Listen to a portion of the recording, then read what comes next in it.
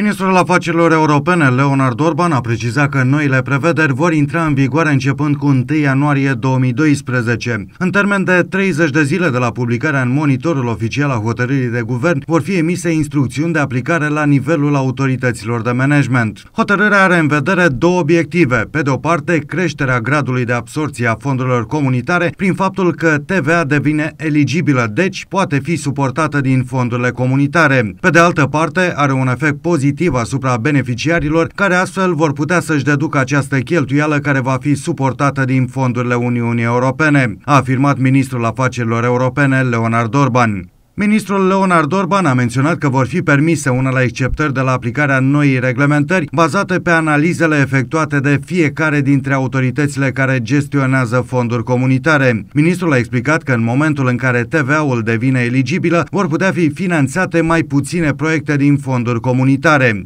Din acest motiv, fiecare autoritate de management își va face o analiză proprie și vom supune aprobării guvernului, dacă este cazul, exceptări de la aplicarea acestei hotărâri de guvern, fie că vorbim de exceptarea în întregime a unor programe operaționale sau doar a unor părți din acestea, a declarat ministrul afacerilor europene care a adăugat că toate statele membre au luat decizii privind declararea TVA drept cheltuială eligibilă.